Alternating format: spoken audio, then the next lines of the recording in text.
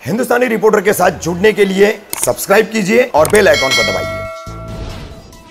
अवैध निर्माणों पर आवाज़ उठाने के चलते मुझ पर हुआ हमला समाज सेवक का आरोप। वहीं महिला का प्रत्यारोप, छेड़खानी के कारण खुद को किया जख्मी। मैं रफीक कामदार, हिंदुस्तानी रिपोर्टर में आपका स्वागत है।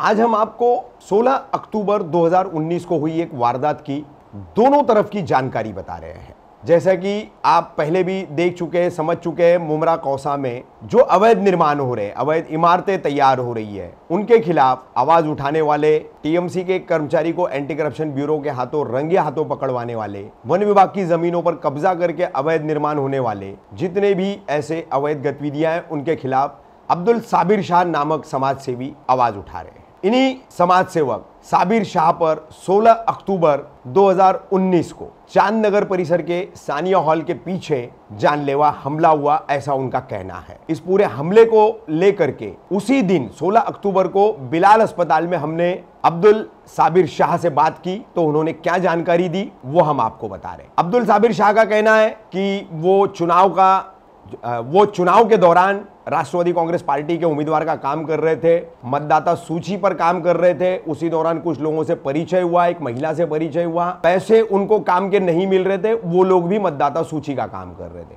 फ़ोन करके उन्हें बुलाया गया, बुलाने के बाद वो वहाँ गए और फिर एक कमरे में ले गए। उस कमरे में जो है कुछ लोग पहले से मौजूद थे उन लोगों ने धारदार हथियारों से साबिर शाह पे हमला किया जिसमें उनके हाथ की नस कट गई। ये कुल मिलाकर के साबिर शाह का कहना है उनकी भी जबानी आप सुनिए। भाई ऐसा है कि मुझे ना मैं एक प्रोग्राम था घास वाला तो घास वाले में था। हाँ। और वहाँ से मैं दो घंटा रुकने के बाद वहाँ से मैं दो घंटा वहीं पे था घास वाला में। वहाँ से मैं तनवर नगर आया। तनवर नगर से मेरे को एक फ़ोन आया और मुझे बोला गया कि कुछ यादी पे कुछ काम कर रहे उन लड़के लोग को मिलना है और वो पैसे के ताल्लुक से पैसा भी नहीं गया। आप लोग, आप यहाँ पे आ जाओ। वहाँ पे गया हूँ मैं जैसे सानिया हॉल के पास। तो वहाँ पे कुछ तीन चार लड़के लोग थे और वहाँ पे चार लोगों ने, सबसे पहले मुझे तो मालूम ही नहीं बाहर खड़े थे और मुझे एक जन जो है अंदर लेके गया।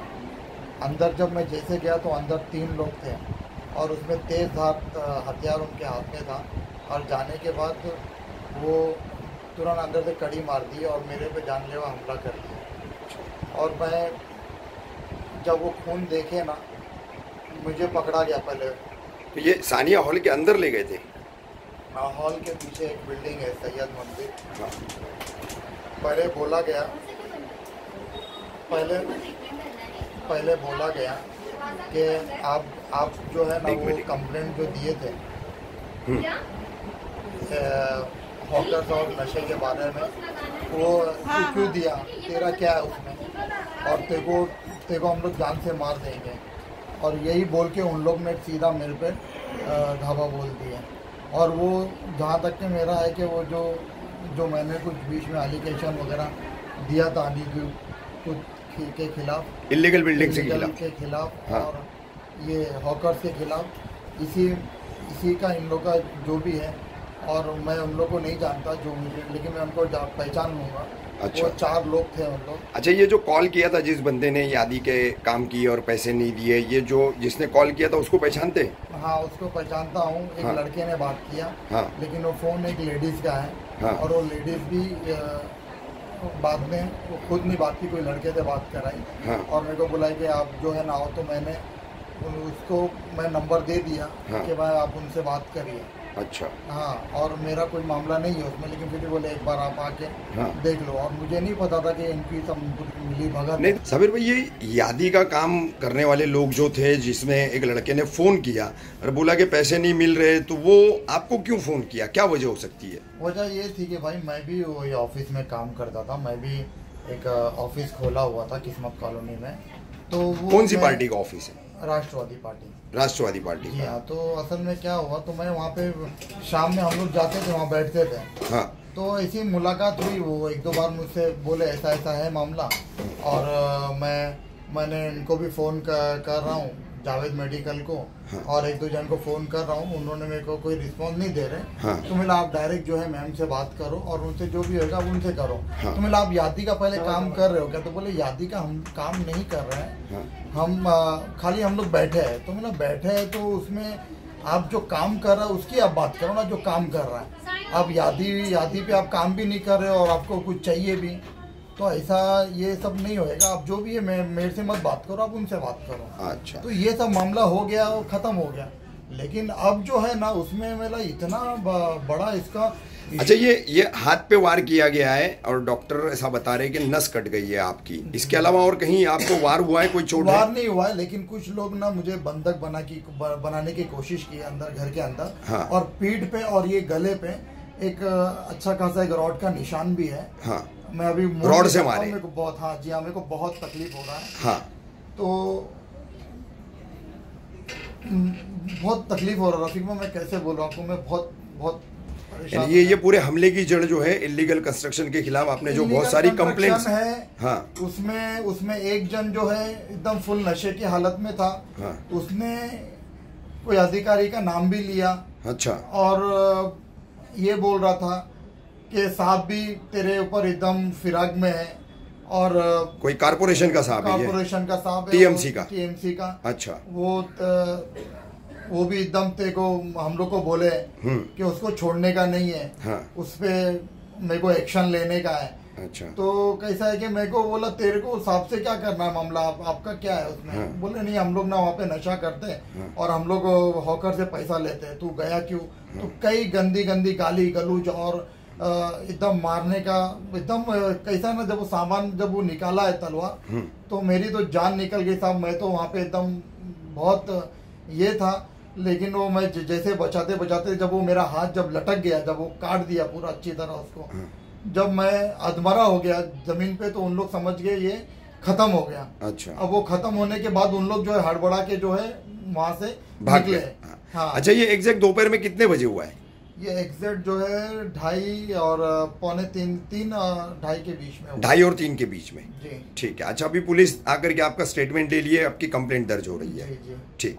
वहीं 16 अक्टूबर 2010 को ही चांदनगर स्थित सानिया हॉल के पीछे जो सैयद मंजिल है, उसकी तल मंजिला पर रहने वाले पति पत्नी में से पत्नी 36 वर्षीय है, उसने इल्ज़ाम लगाया। उसे पैसों की ज़रूरत थी। चुनावी काम के दौरान साबिर शाह का उनका परिचय हुआ। ब्याज से मैं भी पैसा देता हूँ, ऐसा साबिर शाह ने उन्हें बताया। तो उन्होंने उससे नंबर लिया, उसके बाद उनका संपर्क हुआ और वो संपर्क वो पैसे की बात करने के लिए साबिर शाह से कह रही थी कि मैं आपसे मिलने आती हूँ। तो साबिर शाह ने उनसे कहा कि मैं आपके घर पर आकर मिलता हूँ। घर पर आकर के मिले, उस दौरान महिला का पति पान दुकान पर तंबाकू लेने गया। बात करने के दौरान साबिर शाह ने कहा, मैं आपको पैसा दे दूँगा, आप मेरे लिए क्या करोगे? तो महिला ने कहा कि ब्याज आपका जो होगा दे देंगे, मूल रकम जो होगी, असल रकम जो होगी वो दे देंगे। इसके अलावा क्या कर सकते हैं? तो साबिर शाह ने उन्हें कहा कि ये सब मत कीजिए, आप मुझे ब्याज मत दीजिए, मुझे खुश कर देना, मैं आपकी मदद कर दूँगा, आपको पैसे ब्याज पर दे दूँगा। उसके बाद साबिर शाह महिला के साथ ज़ोर ज़बरदस्ती करने लगे।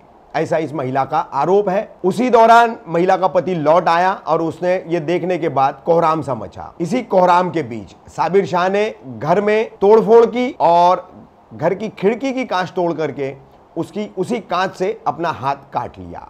हाथ की नस कट गई, लहूलुहान हो गया। ये पूरा मामला इस 36 वर्षीय महिला ने मुमरा पुलिस स्टेशन में 16 अक्टूबर 2019 को जो शिकायत दर्ज कराई है, उसमें अपनी शिकायत में उसने कहा है। मुमरा पुलिस ने इस महिला की शिकायत पर भारतीय दंड संहिता की धारा तीन ए, तीन बी और तीन डी के तहत इस अपराध को दर्ज किया है, जिसमें अवैध निर्माणों के खिलाफ आवाज़ उठाने वाले साबिर शाह को आरोपी बनाया गया है। साबिर शाह का कहना है अवैध निर्माणों पर लगातार आवाज़ उठाने और शिकायतें करने के चलते ये हमला उन पर कराया गया हमलावर जो है, साहब का नाम दोबारा लेना नहीं, किसी साहब की शिकायत करना नहीं, ऐसा कहकर मुझे मार रहे थे। वहीं जिस मकान में यह हमला हुआ, उस मकान में रहने वाली महिला, जो शिकायत करता महिला 36 वर्षीय है उसका यह कहना है कि पैसे के लेन देन की बात करने के लिए आए हुए साबिर शाह ने उनसे ज़ोर ज़बरदस्ती करने की कोशिश की। अचानक पति आ गए और पति आने के कारण उनका भांडा फूट न जाए, ये मामला किसी बड़े बवाल में तब्दील न हो जाए, इसलिए साबिर शाह ने जो है खुद को घायल कर लिया। बहरहाल, साबिर शाह के घायल होने की या उन पर हमला होने की अभी तक अधिकृत रूप से कोई पुष्टि नहीं हुई कि कोई शिकायत मुमरा पुलिस स्टेशन में दर्ज हुई है। मगर इस 36 वर्षीय महिला की छेड़खानी की, उसके साथ ज्यादती करने की शिकायत इन धाराओं के तहत दर्ज हो चुकी है। घटनास्थल हम आपको बता रहे हैं। जिस दिन यह घटना हुई थी, उस दिन उस घर में क्या हाल था उसका वीडियो और तस्वीरें हम आपको बता रहे हैं। बाहर का पैसेज भी हम आपको बता रहे हैं जहाँ पर खून के छींटे लगे हुए दरवाजे पे जो लगे हुए वो सारे विजुअल्स और तस्वीरें हम आपको बता रहे हैं। आरोप प्रत्यारोप है। अवैध निर्माणों पे आवाज़ उठाने वाले साबिर शाह का कहना है कि हमने हम पर जो आ, मुझ पर जो है हमला करवाया गया है इसी वजह से। वही महिला का कहना है कि पैसे कर्ज के तौर पर देने के लालच में साबिर शाह उन पर ज्यादती करना चाह रहा था। और पति के आने की वजह से जो उनका मामला गड़बड़ा गया और उनकी चोरी पकड़ी गई रंगे हाथों, जिसके चलते उन्होंने खुद को घायल कर लिया।